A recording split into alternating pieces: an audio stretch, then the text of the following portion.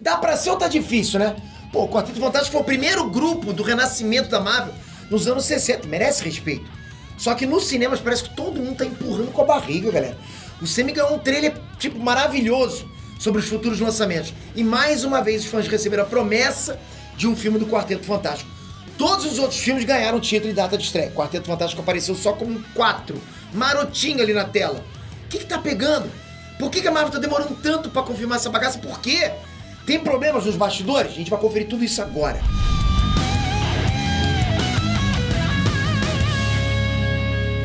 Galera, vocês não sabem a quantidade de vidas que estão sendo transformadas graças à programação, né? Mandando a real aqui pra vocês, tá? O mercado de programação não conhece a crise. E para você dar essa guinada profissional, se liga no curso Pacote Full Stack Master da Dunk Code. É só o maior treinamento de programação da internet. São 15 cursos completados com mais de 2.500 aulas, 200 projetos práticos e um monte de bônus para você virar um profissional de alto nível, pagando 10 vezes menos do que todos esses cursos separados.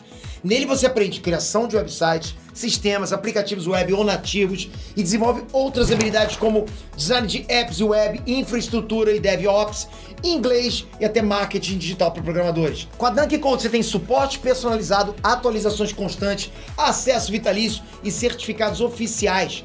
Ah, e também garantia de 30 dias para você testar. E se você não aprender, todo o seu dinheiro de volta para você sem burocracia. Então corre porque as vagas são limitadas. Clica aqui embaixo aqui no link, tá? E muda a sua vida. Já pensou você concorrer nas melhores vagas ou até abrir sua própria empresa? Bora lá! NS Trunks, Peter aqui. Se a gente for falar de quantidade, tá? Até Quarteto Fantástico vai bem nos cinemas. Eles estão até melhor que muito herói famoso, como por exemplo Pantera Negra, Capitã Marvel, até o Thor, né? Quarteto Fantástico já teve quatro filmes, a gente nem percebeu Teve aquele Toscão dos anos 90, que a Marvel mandou inclusive esconder. Teve dois filmes do mesmo universo pela Fox, e depois a mesma Fox foi lá e fez um reboot, né? Uh, coisa louca, né? O problema, galera, é claro, não é quantidade, é qualidade. Quantidade versus qualidade. Você sabe muito bem do que eu tô falando. E assim, com boa vontade, dava pra encarar os primeiros filmes da Fox. Né? Jessica Alba Canastrona, coisa feita de borracha, Galactic era uma nuvem, né? Tudo bem, tinha seus defeitos, mas não era totalmente ruim, tá? A Fox teve que fazer um reboot pra gente entender que dava para ser bem pior. Agora você entendeu onde eu quero chegar. Então a bola da vez aqui tá, tá agora com o CM, tá? Se o CM não conseguir fazer um filme bacanudo do quarteto, ninguém mais faz. Pô, fala sério. Todo mundo tentou, ninguém conseguiu fazer uma coisa que tipo, caramba, oh meu Deus, uma obra-prima, mas agora tem que ser. O CM tem que fazer isso. Mas o povo quer saber quando sai isso. A gente vai investigar essa produção nesse vídeo agora. Depois do teu like, manda o um like like caprichado pra caramba, like quarteto, né? Não, quarteto que é par, né? Você dá, tira, dá, tira. Não, eu prefiro um ímpar, né? Um, um trio. Obrigado, galera. Tamo junto sempre, você sempre ajudando o canal. Eu confesso, galera, de verdade que eu pirei quando vi aquele logo do quarteto aparecendo no finalzinho daquele trailer. Foi bom pra caramba, né? Vocês viram meu react. Só que no segundo seguinte, meu cérebro já tava martelando. Pô, custava oficializar qualquer coisinha, tipo, sei lá, eu não sei. Imagina alguma coisa pra oficializar. Custava escrever ali com todas as letras Fantastic Four. Custava dizer uma data, podia ser até 2023.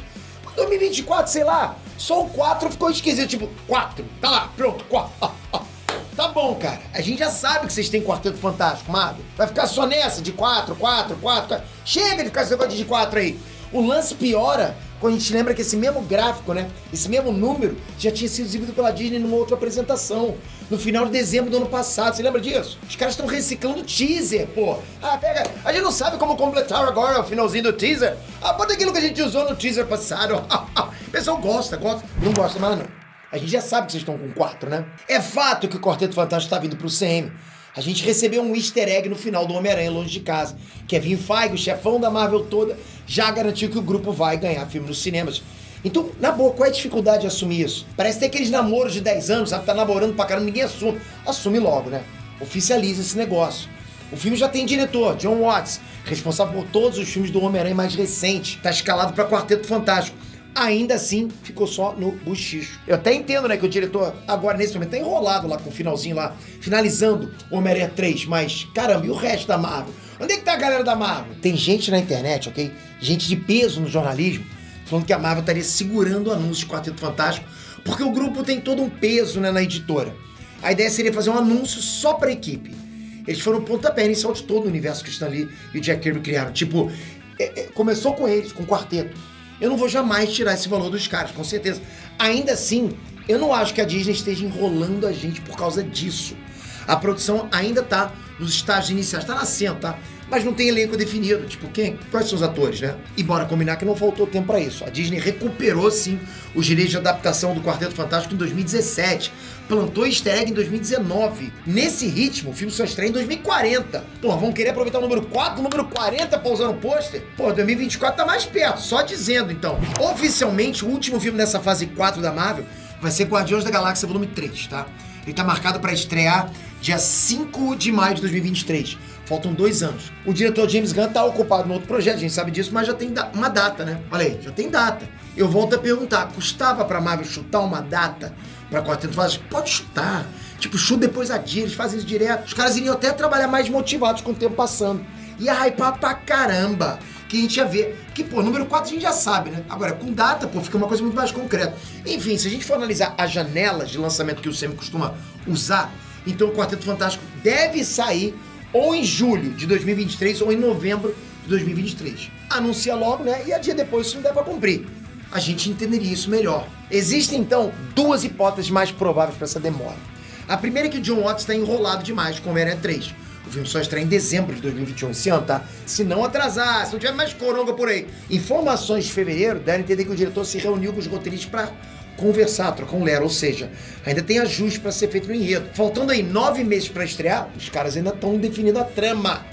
Nem trailer tem ainda. Ou esse vai ser o maior filme do Homem-Aranha de todos os tempos, e eu acredito nisso, tá? Ou vai ser um desastre. Nos dois casos, a Marvel não tem como garantir o compromisso do John Watts com o Quarteto Fantástico. A segunda hipótese que eu penso aqui é que o Quarteto Fantástico pode ser o encerramento da fase 4, ou até o primeiro filme da fase 5. Ou seja, ele tem potencial para encerrar uma saga colossal ou ser um novo início. Em outras palavras, o roteiro do filme teria que ser, tipo, muito alinhadinho, muito amarradinho com os outros. Se qualquer coisa atrasar, Quarteto Fantástico teria que atrasar também. Aí já sabendo disso, né, a Disney prefere nem marcar uma data pro filme.